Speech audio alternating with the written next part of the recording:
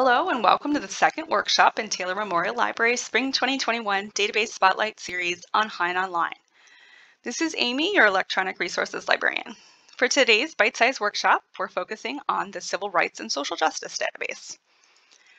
All TML workshops are available on our website or look for Taylor Memorial Library on YouTube. In case you missed it, Sarah gave an overview of the COVID-19 Pandemics Past and Present database, and next month Marianne will talk about women and the law. Since Hein Online is a relatively new database for us at Centenary, we're doing this series to spread the word about everything it has to offer. It is a great option for researching subjects like government, history, law, and political science. And those are just the beginning. It's a great database for criminal justice, sociology, the environment, and nearly any topic as it relates to law and public policy. We've been impressed with how responsive the company is to what's going on in the world. In just the past two years, they've launched a U.S. presidential impeachment library, an executive privilege database, the COVID 19 database, and civil rights and social justice database. So, what kind of content is included? It has the entire congressional record, the Federal Register, the Code of Federal Regulations, the complete coverage of the U.S. reports back to 1754, the official record of the U.S. Supreme Court, along with databases dedicated to U.S. presidents, and much more. It contains comprehensive coverage from the beginning of more than 2,900 law-related scholarly periodicals. Um, the content dates from the 1700s up to through, up through today, and our subscription provides access to 34 of Hein Online 60 plus databases. So why should you use it or encourage your students to use it? It contains both primary and secondary sources. All materials in the database are fully searchable in a PDF format. All of the content not born digital has been scanned in. The interface is user-friendly, mobile-friendly, and accessible. And while some content may be available from other sources, this is a great one-stop search tool.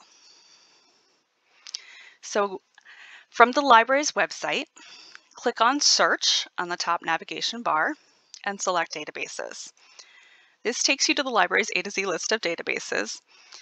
You can scroll through use or use the filters here. Here is a view filtered by subject, racial justice. This is one way you can find the Civil Rights and Social Justice database. Um, I want to start by showing you the broader Hein Online database, so I'm going to click on Clear Filters and browse all databases. So back on the full list, I click on the alphabetical H filter here, and now I can see the Hein Online academic listing. Um, you will be asked to log in as with any other subscription-based resource using your Centenary credentials. So here is the Hein Online welcome page. The top portion of the screen, this navigation bar and the search box will follow you throughout the database. Those will always show. The nav bar shows which databases you're currently in. The default is all databases.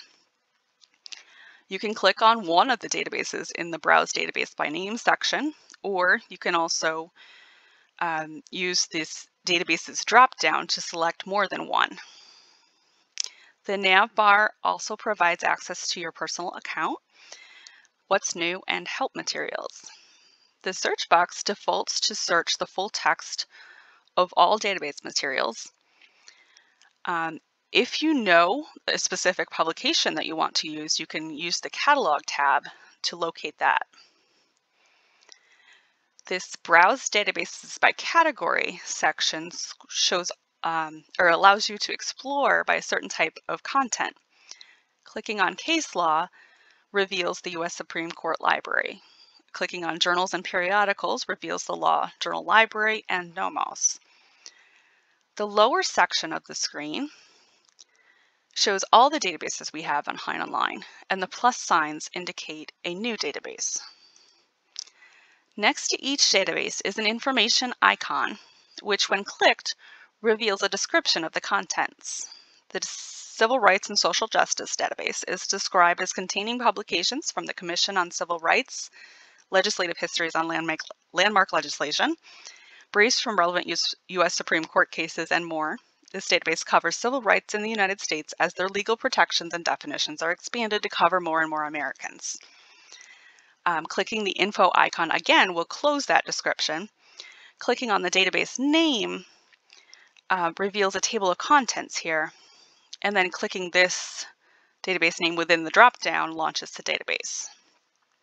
We have now arrived at the introduction section of the Civil Rights and Social Justice Database, um, offering a useful summary of the history of the fight for civil rights in the US, um, including constitutional amendments, um, major Supreme Court decisions, and landmark legislation. Um, you can delve into how we've arrived at this current place in our history. This is not just a historical database, though. You can view recent laws and rulings that have influenced civil rights and social justice, um, like the 2013 Supreme Court decision in Shelby v. Holder that struck down many of the protections from the Voting Rights Act of 1965. You can research Black Lives Matter, COVID 19, and workplace issues, or even the CARES Act in relation to civil rights laws. So, moving to the next tab in our table of contents listing here, um, you get all titles, listing every publication in the Civil Rights and Social Justice database. You can browse by title, author, date range, or subject. Next, we have um, the U.S. Commission on Civil Rights, um, the agency tasked with informing the development of national civil rights policy and investigating allegations of violations. Following that is committee prints. These are reports from the House or Senate committees on civil rights issues. Then CRS reports, reports from the Congressional Research Service, um, the agency that provides objective research and analysis to congressional committees throughout the legislative process. Um, next, there are GAO reports from the Government Accountability Office, the nonpartisan federal agency tasked with sort of being the congressional watchdog. After that, um, hearings, congressional legislative hearings.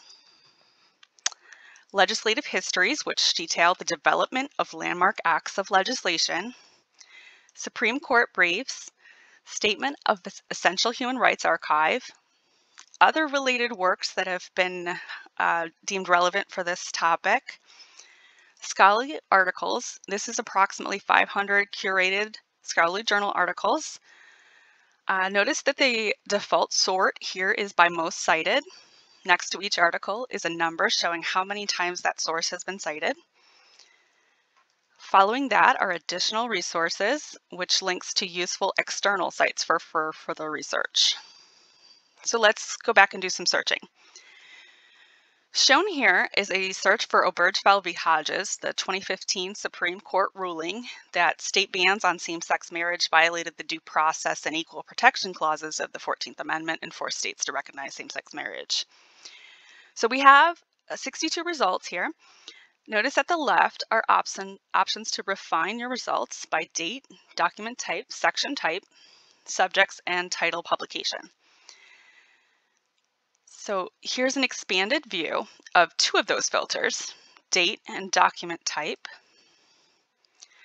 Put in your own date range or focus in on specific types of sources. Also notice to the right of each result the tools icons for downloading a PDF, uh, other download options, emailing the document, or saving to your personal account. So taking a look at the first result from that search, I've clicked on the title, Brief for Marriage Equality USA in Support of Petitioners. At left, we see the Cite button. Click this to get a citation. Notice the toolbar above the document I'm sorry, let me go back. Um, important to be aware of are the left and right arrow icons um, to move to the next page or the previous page. Including included again here are the usual download, um, email, and save to my Hein Online buttons that we saw on the result list. New icons here are the plain text button, the permalink button, um, an option to search within the document, rotation buttons, zoom in and out buttons, and a multi-page view and a full screen view. Trying another type of search here, After clicking on Advanced Search in the search box, I chose to try a Venn diagram search. A caveat here, I did this in the broader Hein Online database um, purely by accident, but you can do it within the smaller databases too. So I'm inputting a Boolean search with civil rights in quotations to denote as a phrase, followed by and in all caps, voting rights in quotes, and in all caps again, and race. Here are the results of that Venn diagram search. You can see the visual display and use it to navigate between your result sets. The default display is for the section where all of my search terms overlap. A key thing to note if you're presented with a large number of search results, in this case 42,000, the database default is to present your results as an infinite list. They kindly give you the option to turn off infinite scroll. And once you do that, you'll see um, 10 results on each page uh, with uh, next result page links at the bottom um, to page through those results. So working with your search results again here, you can change the sort. The default is sort by relevance, but you can also select oldest first, newest first, number of times cited by articles, number of times accessed over the past 12 months, and by most cited author. Here I've navigated to a journal article result so I can show you a couple other nifty features. In the upper left between the contents and the cite button is the scholar check button. When you click on that to get more details, we see that this article has been cited by two articles and viewed 30 times in the past year. Um, the other feature I wanted to point out is the More Like This button. This is extremely useful if you've hit upon a super relevant article for your research and you want to discover similar articles in the database. When you click on More Like This, it launches a search in a new tab showing additional results. Note that if, it, if it is highlighted in pink, it is not available in full text in the database. Looking at the interesting word sliders along the left, you can boost or give more or less weight to interesting terms found in your original article to adjust your search results a bit more. This is a screen from Hein Online's excellent help pages de detailing what you can do with a personal MyHein account. You can bookmark documents, save search queries, set up table of contents alerts, author alerts, and edit your author profile, as well as favorite your most favorite databases. So thank you for joining me today. I hope you give Hein Online and the Civil Rights and Social Justice Database a try, and I hope you help us spread the word. Feel free to reach out with any questions or comments by filling out our Ask a Librarian form or by emailing library at centenaryuniversity.edu. To catch up on our other workshops, look for Taylor Memorial Library on YouTube. And save the date for our third Database Spotlight workshop when Marianne talks about women and the law. See you April 7th.